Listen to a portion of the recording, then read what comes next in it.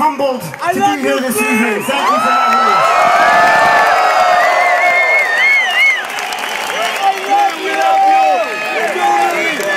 And peace and love and prosperity to all.